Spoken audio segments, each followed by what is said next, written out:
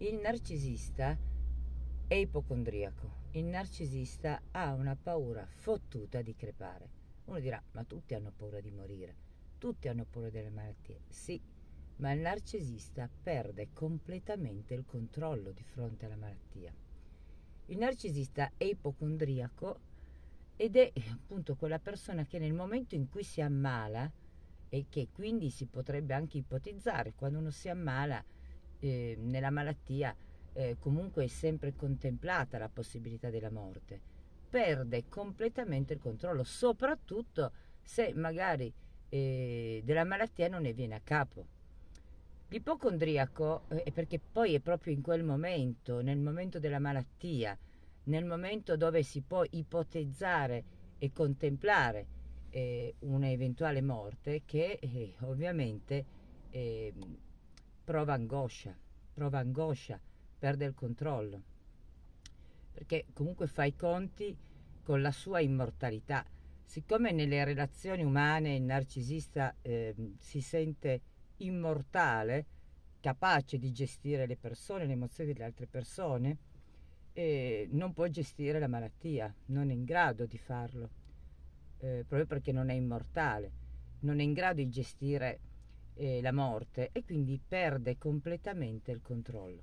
Ma l'ipocondriaco è quella persona che si reca al pronto soccorso eh, tre volte eh, chiamando un'ambulanza, cioè che tu dici ma ma, ma prendi un taxi, no? Deficiente, cioè, voglio dire, cioè tu puoi mobilitare un'ambulanza per andare al pronto soccorso, ma lasciala libera a chi magari ha un infarto e c'è un incidente. Cosa chiami l'ambulanza per andare al pronto soccorso?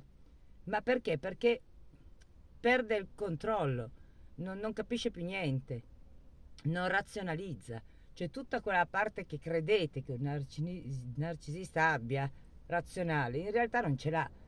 Quello che ti sembra razionale di un narcisista è la sua non empatia, però nel momento in cui si trova nel panico dimostra che non ha razionalità. Che poi tu dici, vabbè, alla terza volta è andato al pronto soccorso, uno spera pure che lo trattengano, eh, si accorgono della sua insanità mentale, lo trattengano al reparto psichiatrico. Invece no, mandano pure a casa, no? E sarebbe stata un'opportunità persa.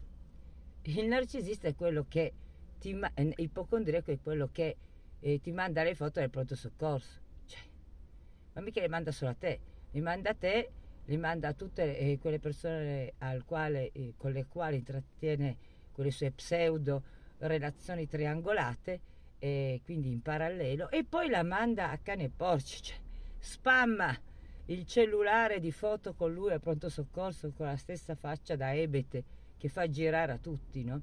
Ma mica ti manda solo la foto, ti manda esami, eh, referti, proprio perché è alla ricerca di qualcuno che lo tranquillizzi o che gli cerchi, gli trovi la malattia, no? Eh, quella malattia che lo sta mandando fuori di testa, cioè perde completamente il controllo, cioè non ragiona più cioè è capace di passare la giornata a eh, mandare eh, sul cellulare referti, foto, eh, temperature corporee a cani e porci perché è nel panico totale, è, è nel delirio, ha un attacco non di ansia, di più, cioè ha perso il controllo. E, ehm, quindi questo fa capire eh, che di fronte alla malattia e all'avvicinarsi della morte, il narcisista eh, è debole, è molto debole. Ma non è debole come eh, si può dire eh, tutte le altre persone, è proprio debole perché si sente inerme, non si sente inerme, si sente di non poter controllare eh, qualcuno. È molto abile nel controllare le persone, nel gestirle, nel manipolarle, nel trattarle male, nello scartarle, nell'usarle ma eh, di fronte alla malattia e alla morte è un comune mortale come tutti gli altri. Cosa dovete fare? Dovete amplificare il turbamento della malattia al narcisista ipocondriaco, dovete eh, insinuargli dubbi, e dirgli ah ma hai fatto tutti questi esami, però magari dovresti fare ancora questo, eh, ma hai mai pensato di farti il test HIV?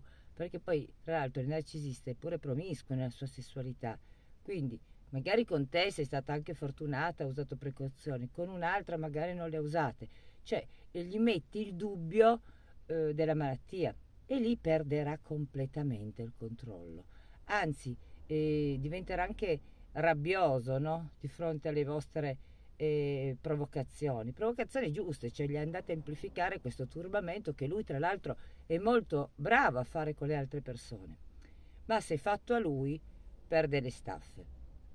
Quindi mi raccomando, ah che poi magari è arrivata una certa, gli dici pure, beh scusa, hai fatto tutte queste visite, ma una da uno psichiatra, ma vai da un neurologo, cioè, non lo so a sto punto, no? C'è la testa, hai mai contemplato di fartela curare? E, e, e, magari di fronte a questa cosa, magari ci va pure, però poi ti dice che non ne ha bisogno, che non è quello e dà la colpa a mm, qualcosa di organico e fisico, non di mentale, perché non può accettare il fatto di essere un malato di mente. Lui che per primo ha sempre sminuito eh, le persone che magari avevano problematiche eh, di tipo depressivo, ansioso, malattie mentali, no? perché ovviamente è una persona che ha sempre disprezzato le fragilità degli altri, quindi eh, fatte passare come dei veri e propri handicap e, e poi quindi non può accettare il fatto di, eh, di esserci caduto pure lui no? o di farne parte. E, anzi, se poi magari gli suggerisci questo, dopo che magari ha fatto pure, poi ti dice che eh, gli fai gaslighting. No? Ah, mi fai gaslighting? Cioè, mi fai passare per pazzo e ti faccio passare per pazzo. Ma fatti due domande e date tue risposte. Cioè, prova ad andare a farti curare il cervello. Hai messo in contemplazione sta cosa oppure no? Vabbè, comunque, eh, detto questo, state attenti ai narcisisti ipocondriaci, sappiate di riconoscere. Spero che con questo video non solo vi abbia dato delle indicazioni giuste, ma che vi abbia anche fatto un po' sorridere. Quindi prendeteli in giro, prendeteli in giro.